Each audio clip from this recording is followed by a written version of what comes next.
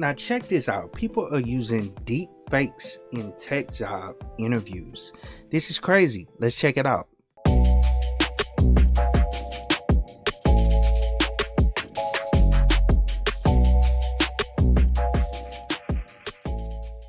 What's up guys, it's Josh back with another video and like I stated in the intro, there's a new technique used by scammers where they are using deep fakes in tech job interviews.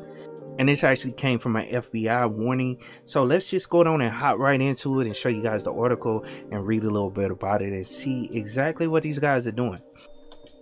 Yeah, and this article is on CNET um, and basically, it says the FBI warns that scammers are using deepfakes in tech job interviews.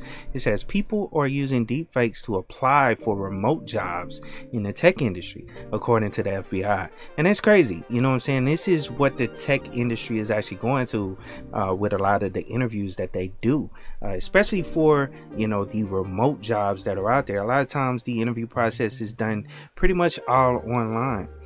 And the reason I know because I know a lot of people that are applying for tech jobs that I've, you know, either helped, you know, get ready for interviews and all that good stuff. And a lot of these positions are, you know, remote and they do the interviews online. I think I did a video on it a while back saying that a lot of uh, the interviews are done remotely uh, using like Zoom or Teams or one of these other video conferencing programs. But in this article, it says companies might have a harder time vetting candidates now that deep fakes are getting involved. The FBI warns that employers have interviewed people who've used the face altering technology to simulate someone else and are also passing along stolen personal information as their own. And this reminds me of something that I remember, you know, warning people about in the past.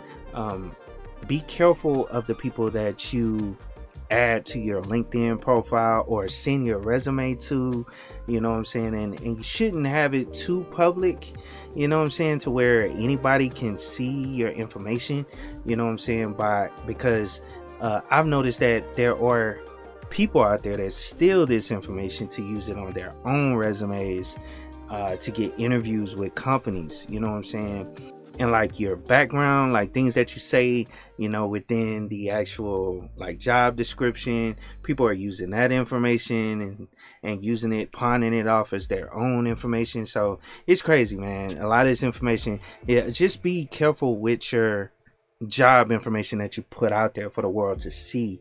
And I know it kind of sucks because that's the only way you can kind of get these jobs uh, by uh, people actually seeing your information or getting your information. But you got to be, you know, careful of who you actually send it to and kind of vet and look at the emails before you actually send your information out. That's one of the things I use. Like I'll make sure that this person is contacting you from the legit company you know before sending your information because a lot of times you know resumes they'll have your address your current address on it you know you'll have your phone number on it your current phone number you know all that information is on your resumes a lot of times. So just be careful on who you send it to and I'm sure that's how a lot of these guys are getting that information, that stolen personal info, uh, and using it as their own. But it says the people using deepfakes, a technology that taps artificial intelligence to make it look like a person is doing or saying things they actually aren't. We're interviewing interviewing for remote or work from home jobs in information technology, programming, database, and other software related roles. According to the FBI public service announcement, employees notice some telltale signs of digital trick- trickery when lip movements and facial uh, actions didn't match up with the audio of the person being interviewed, especially when they coughed or sneezed. Yeah, that's that's that's one of those telltales right there. Uh, it won't you know recognize some of that, and it kind of reminds me of a video I remember.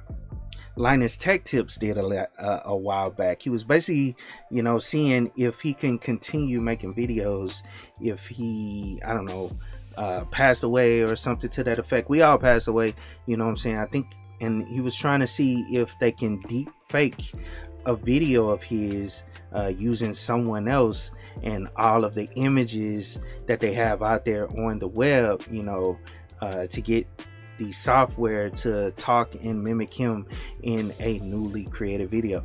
And it was interesting, you know, actually seeing that.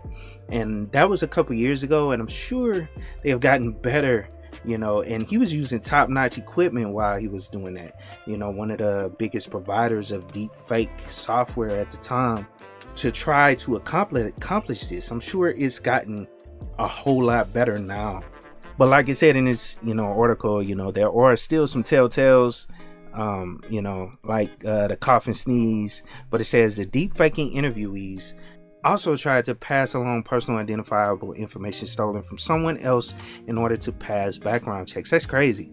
You know what I'm saying? And I'm sure they getting that stuff off of people's resumes and because like I said, I've been contacted on LinkedIn, you know, from people that I really didn't believe they they were who they were or who they were who they, you know, portrayed to be uh, for jobs. And they'll get your information and then use it for another job that they're trying to apply to which is you know crazy. But it says this is the latest use of deep fakes uh, which entered the mainstream in 2019 with the worrying potential of convincingly faking other people's faces and voices and place victims in embarrassing situations like pornography or cause political un- upheaval. Um, Hobbyists have used deepfake for more benign stunts since then, like cleaning up de-aging in Disney Plus The Mandalorian or swapping out an ultra serious Cape Crusader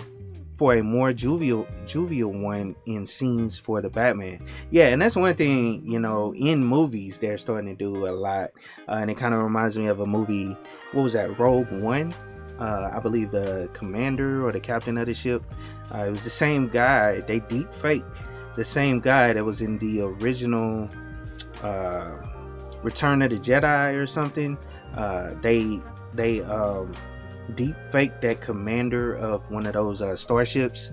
You know what I'm saying? And and that guy had he, he was older then, and I'm sure he's passed away you know what I'm saying? But they deep faked him in the actual movie on Rogue One, which I thought was interesting. You know what I'm saying? If you go back and look at those movies, uh, you'll see that same guy, you know, as one of the commanders of one of those starships uh, in one of the original films, one of those three films. I can't remember exactly which one, but I know they deep faked him in that. But it says the threat of using deep fakes for political uh, ends remains and as when Facebook removed a fake video of Ukraine President uh, Vladimir Zelensky uh, back in March. The EU just strengthened its disinformation rules to crack down on deepfakes, but their use in situations as mundane as job interviews shows how easy the deception uh, tech is to get your hands on and use. So it is out there, you know, people are actually using it. Uh, I believe that's the end of the article. Yeah. But yeah, man, that's an interesting article, man. And I wanted to share this with you guys. You know what I'm saying? Uh, just be careful of your information that you put out there, especially when you're applying for jobs. Um, be careful who you send this information. You know, verify that it's the real company that you're actually sending information to. You know what I'm saying? At the end of the day, um, if they have a site where you can apply on, apply there, you know, on the physical site. Put your information in there and just make sure, you know, it's the encrypted right site, you know what I'm saying, to put your information up there on, you know, for the company to actually consider you for the position. So, hope you guys enjoyed the video. Please like share and subscribe to the channel. Uh, if you're interested in supporting the channel go on and uh, sign up for the membership which is available. I have four tiers. Uh, i'll have a course coming out pretty soon the linux plus exam full course. That'll be coming out pretty soon under the membership uh, first and then i'll release it to the public uh, at a later date.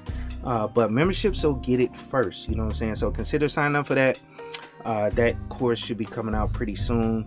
Uh, like I said, I wanted to wait until I passed that CompTIA Linux Plus, uh, the latest version of it, uh, the 005 version. Before I put the course out, it should be coming out pretty soon. But hope you guys have a wonderful day, and of course, keep it techie.